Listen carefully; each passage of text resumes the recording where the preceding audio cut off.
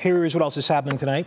New tonight, a snowplow driver is on administrative leave after video captured the plow pushing snow onto oncoming traffic. About 12 were injured. Manny Abraham joins us from the newsroom with more on this. Manny, good evening. Good evening, Russ. Yeah, it happened on Sunday afternoon. A snowplow driver was seen on the turnpike in Erie County pushing snow over the median and into the lanes of oncoming traffic. The Ohio State Highway Patrol tells us that at least 40 vehicles were involved and there were 12 known injuries.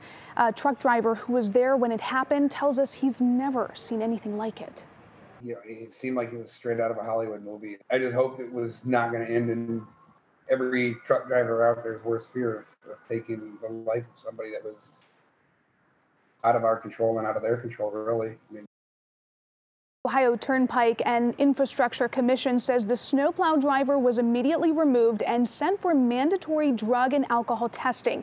We're told that the case is being reviewed by the Erie County prosecutor to look at any potential charges. Russ. Okay, Manny Abraham, thank you.